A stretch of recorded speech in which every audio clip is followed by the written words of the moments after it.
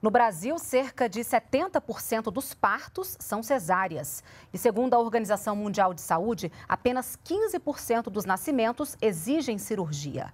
Para reduzir o número de partos marcados sem recomendação médica, a ANS lançou uma campanha em defesa do parto natural.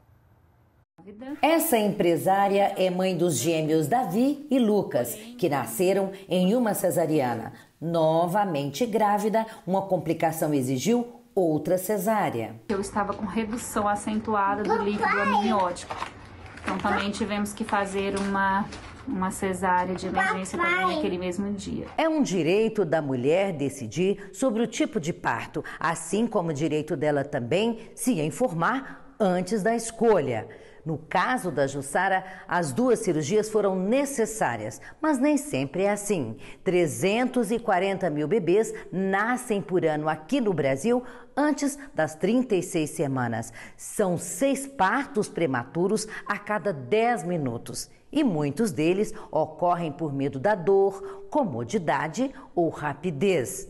Decisão que pode trazer riscos para a saúde da mãe e do bebê. O parto normal, vaginal, natural, é a maneira fisiológica para dar à luz e garante algumas vantagens para a mãe: menor tempo de recuperação, menos risco de infecção, facilita o início da amamentação.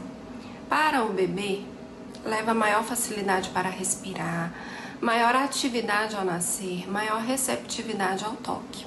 Para se ter uma ideia, dos mais de um milhão de partos realizados em 2018, 70% foram cesáreas, quando a OMS recomenda até 15%. Preocupada com essa estatística, a Agência Nacional de Saúde Suplementar lançou uma campanha que pede respeito ao tempo de nascimento do bebê. Talita e o marido consideram o parto um ato único de muito amor. Por isso, a chegada do filho foi da forma mais natural possível. A gente sempre sonhou em ter um parto normal, a gente estava se planejando e se organizando nesse sentido, com todo acompanhamento médico.